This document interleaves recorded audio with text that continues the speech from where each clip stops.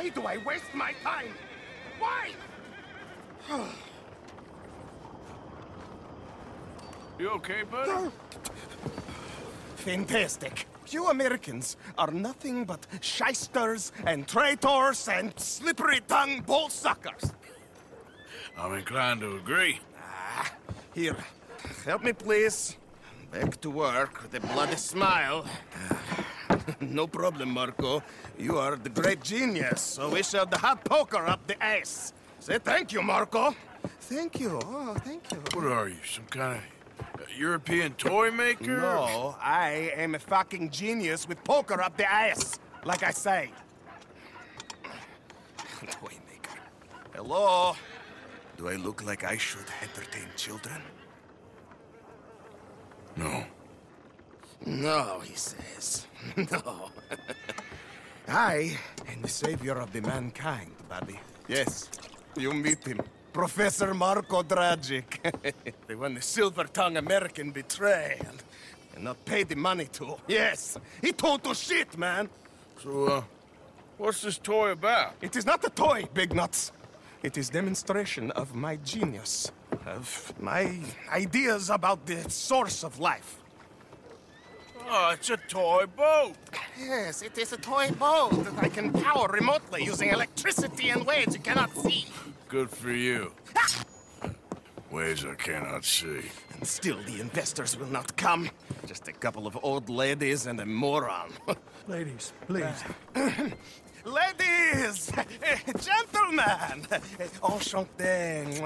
Yes, Hello, hello, sir. Okay, uh, how is the piles? Yeah, good, good, good. Okay, my friends, you are about to witness history. A demonstration of my infinite insight. All of us, we feel old. You, you are old. Uh, but maybe I can make you immortal. Using waves you cannot see. I will power this You're a goddamn fraud. And this buffoon, dressed up like a buffoon, is a stoolie. I watched them conspire, you morons. What? I never met this buffoon before two minutes ago. Isn't that right? Which part of it? So, Professor, show us your magical toy boat. Only this time let the buffoon control it. Check if there's any funny business. No, this ain't nothing to do with me. Come, please, please.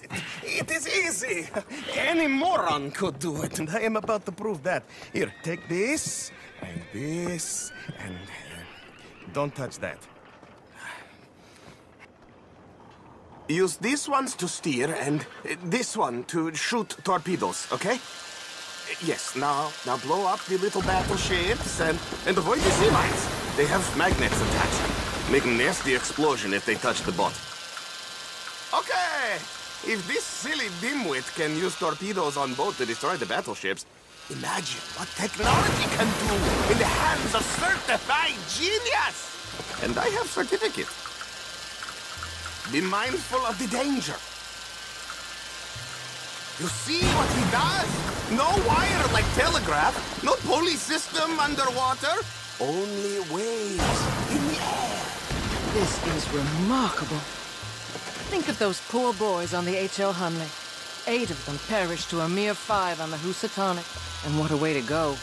Trapped in a box at the bottom of the bay. There, I'm gone for you. yes, you see what he does? Now, bring the boat back to the dock. That sure was something. Let me just reload her. This is really remarkable. This is just a, a demonstration of my prowess, sir. the real miracles require investment. Ah. Now the dimwit will use invisible waves to destroy the little sailing boats before they get to other side of Kong. Still avoiding magnetic mines. Oh, he'll attempt to, at least. Shush! You're not here for this smart talk.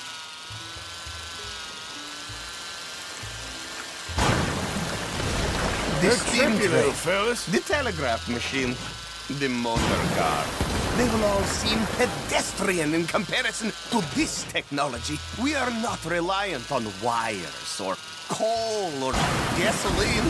No, just rays in the air, like the voice of God. And funding from us? And funding from you, of course. But what a thing to fund! What an opportunity! No one is stupid enough to pass this up. Not even Dimwit here. Hey, You really ought to work on your salesmanship. look who rules the seas. Very good, very good. Now bring in the boat back here. Foolproof. Undeniably foolproof.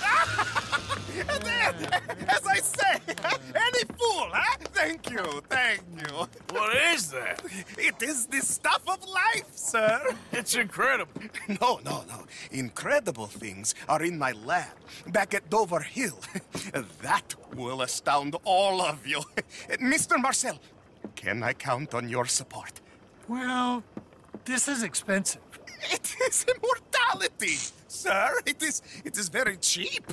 Perhaps over lunch. Maybe. I'm gonna go. Oh, yeah, of course. And, and thank you. Um, if you're ever up near Dover Hill, pay me a visit. There, I will really amaze you.